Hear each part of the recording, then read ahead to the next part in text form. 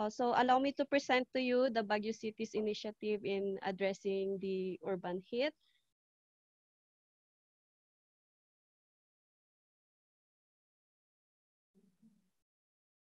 Okay, so as uh, as uh, earlier uh, introduced to you, we have here the profile of our city. So I don't have to repeat, but I want to emphasize that uh, for on the population because the population is uh, uh, the based on the based on the census of population. However, there was this study from the uh, National Economic and Development Authority on the urban carrying capacity for the city, which uh, mentions that uh, the population during daytime is much higher or, or almost doubles the uh, the level of the population. This is because uh, the city is uh, this considers the students, the individuals who are uh, doing business or work in the city, but who are not actually residents of the city of Baguio. Okay, so that is that on the screen is the uh, general land use of the city, and uh, it's very dominant the yellow color, which uh, represents the residential, the residential uh, zones. And the, the green ones are the watershed or pine tree zones, as well as the parks and recreation areas. So as we can see, we have uh, uh, more than 50% of residential in terms of proportion. We have uh, more than 50% uh, residential uh, areas for the city of Baguio, and we have a minimum or, or a very few uh, area for or around 20% of the land area is uh, for the watershed or the green areas. Okay, so I want us, I want to share the functional roles of the city to explain the, the trend of development here in the city of Baguio. So we are all aware that uh, the city is a prime education center of North Luzon.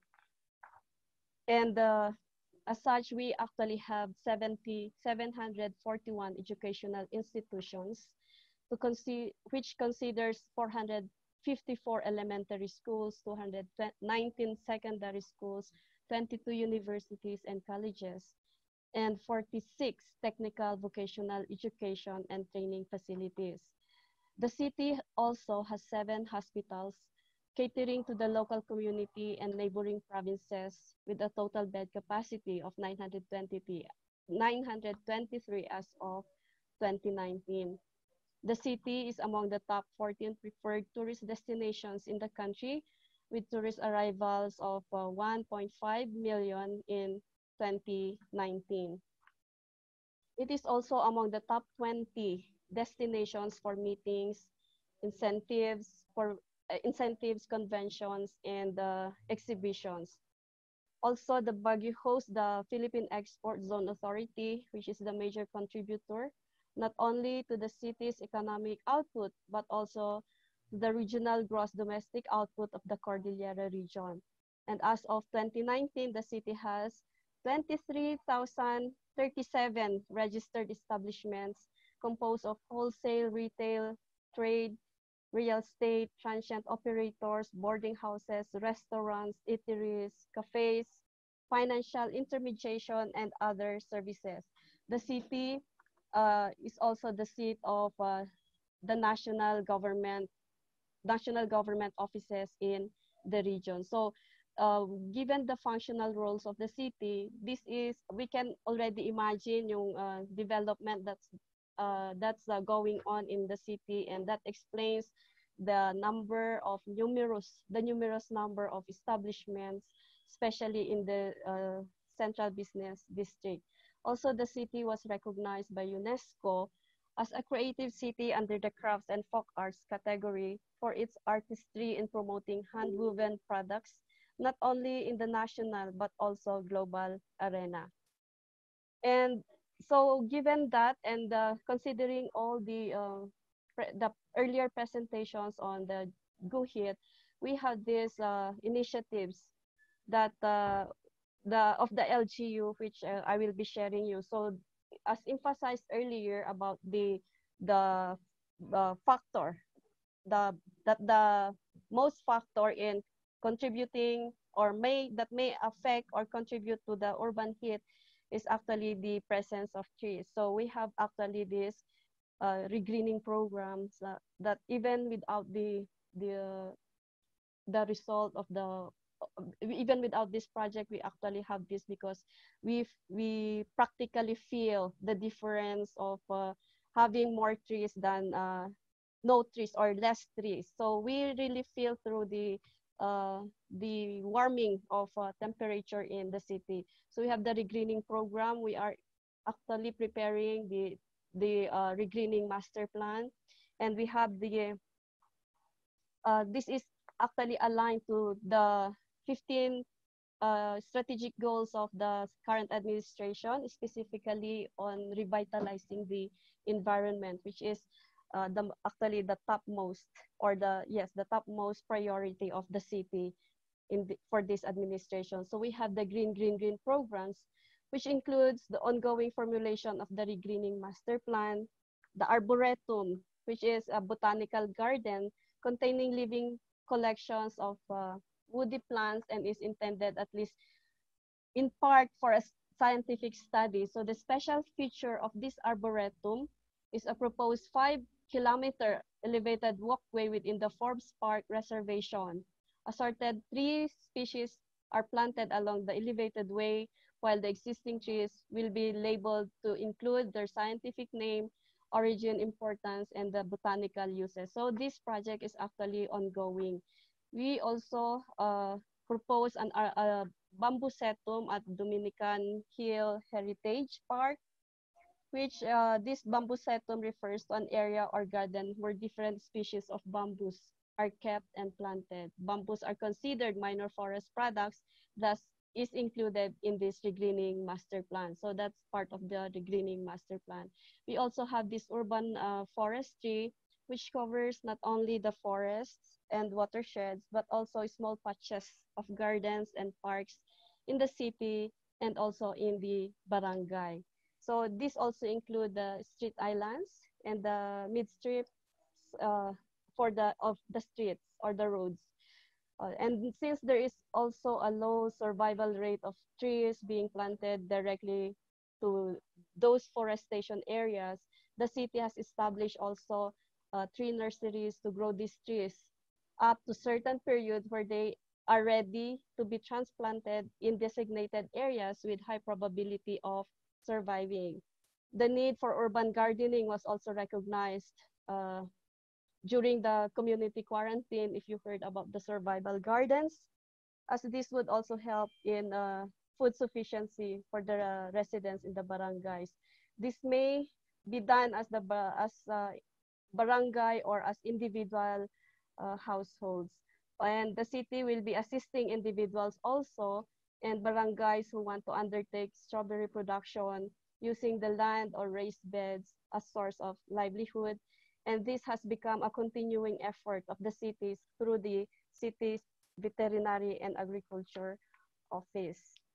Uh, another um, another initiative is the park development. So this is also a very important initiative of the city and uh, while while uh, shown on the slides are the major parks, this also will include parks in the small parks in the barangay. So we have here the barang the Burnham Park, which involves the rehabilit uh yeah the Burnham Park rehabilitation, and this will be uh we will be uh, provided with the financial grant from the DOT through the Asian Development Bank. So the DOT has actually committed a grant of 480 million before the COVID. Unfortunately, this uh, fund was, uh, before it was downloaded, this was already used for COVID management. So the DOT has, uh, has arranged with ADB to, to provide the necessary funding, but uh, to be paid by the DOT, but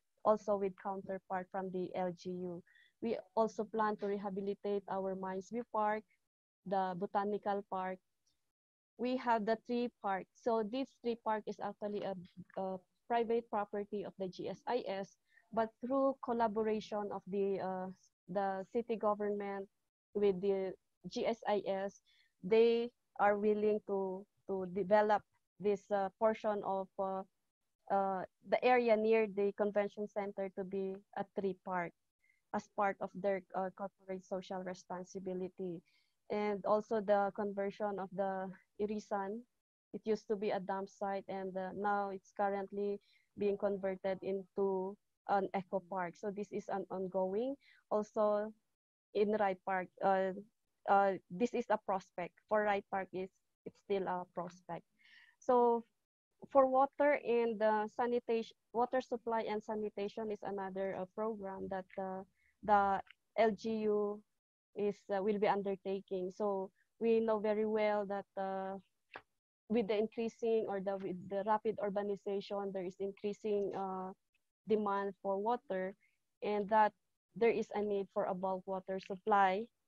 We need some water retention facilities for uh, like the water harvesting, water clarification facilities like recycling, and then we have the sewerage and septage management program.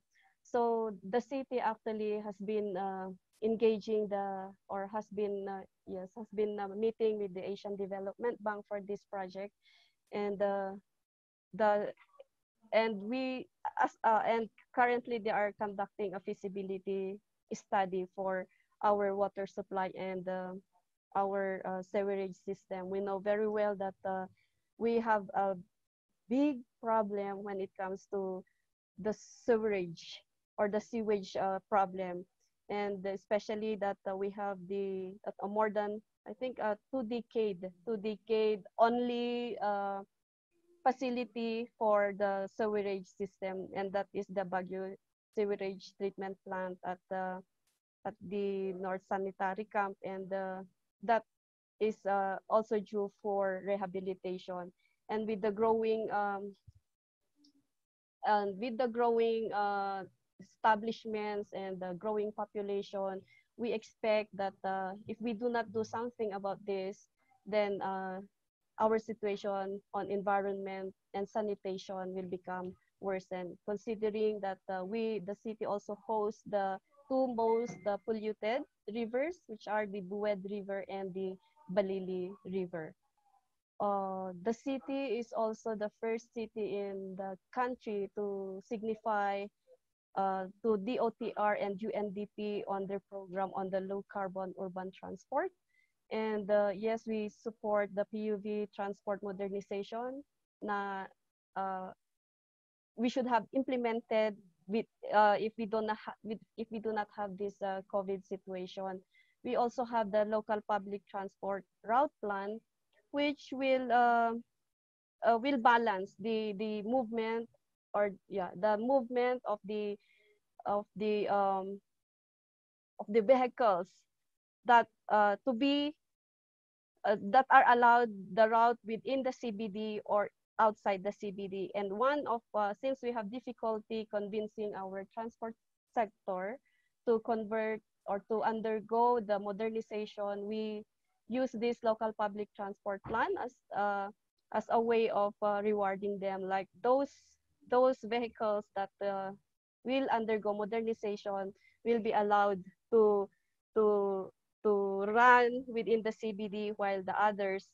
uh, with the old models are or the the non non modernized uh, vehicles are to be allowed only at the uh, outside the CBD and uh, also we we have this because uh, we have a very big problem on air pollution especially that the most uh, one uh, some of or most of the top 10 uh, most of the top 10 causes of morbidity are air pollution related and so our uh, city environment uh, and man environment and parks management office is also conducting the regular air quality monitoring to monitor the air quality index of the city. And um, we, during the community quarantine, we recognize the, the importance of the bicycle and other non-motorized vehicles as mode of transportation. So we, the city would like to, to carry this as a uh, even after as a new normal measure. So even after this uh, pandemic, we will still promote the use of bicycle and uh, non-motorized vehicles as they are uh, they have no emissions. And then we want uh, there there is an ongoing strengthening of the city traffic and the transport management uh, office, which is large with our uh, city engineering office. So we also have this uh, for a program on road widening because uh, we all know that as uh, vehicles congest, they have more concentration or more emissions as they concentrate in uh, during uh, traffic congestion. So we want to have this has already started in the in Gillian Road, in Marcos Highway, and we hope to to and this will continue to ease the traffic. And uh, we also promote our city as a walkable city. And uh, with the theme of building uniform, better quality sidewalks. So this is uh, synonymous to promoting also our pedestrianization. Uh, given yung presentation kanina on the session road uh, with the building and all, what we can uh, what we can also what we want to continue is to continue the pedestrianization of the uh, session road like to mean uh, to minimize the vehicle emissions there the air pollution and so before the covid we actually close uh, the session road every sunday for uh, for the people to enjoy so there will there are uh, no vehicles are allowed to pass through Session Road during Sundays. And we hope to continue this as we see also some improvements in the uh, air quality of the city, specifically in Session Road. We also want, uh, we are also into sidewalk improvement and recovery. This is an ongoing, uh, ongoing initiative of the city because there are a lot of uh, establishments and business activities that have encroached to the to our sidewalks and the, the city would like to recover that and to improve that for uh, better walkability and also in in the improvement of uh, the uh, our sidewalks we also would consider the needs of our uh, persons with disabilities so there and also again we don't want more uh, we don't want the buses to be uh, to be flying here with, in the CBD. So there is also a plan for an integrated uh, terminals and parking building. So we have the west uh, west terminal, we have the south terminal, north terminal, central terminal. But uh, of course, again with this COVID, uh, hindi pa po siya gaanong na, na i-implement. Pero there are also other uh, in, private investors who have already signified na they want to to establish a terminal in the city, especially in the uh, outskirts, and uh, that we are we continue to receive proposals from them. But if these terminals will be uh, implemented, then uh, that will be on a PPP, in on a PPP mode, so public-private partnership also with our parking buildings. And as we also uh, have these parking buildings, it should it will be a PPP, a combination of a private, public-private partnership and also an LGU. So we, if it is a private public partnership, then it will be, uh, we want the design of our parking buildings to be uh, the, to follow the green building designs there.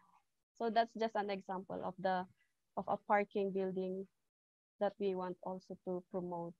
And so uh, I think that's all. The, those are just uh, some or few of the few of the uh, initiatives of the city that are currently being undertaken. But also we also have the the uh, legislative support from the city council, um, especially if you the the the ongoing issue or the current issue which we are faced now, like the tree cutting moratorium and the uh, moratorium for the high-rise uh, building construction. So there are other uh, initiatives that uh, we can share you but uh, given this uh, limited time at nalate pa akong nag-start. so uh, we we you are always welcome to visit our office. So yun po ang aking presentation for now po. Thank you.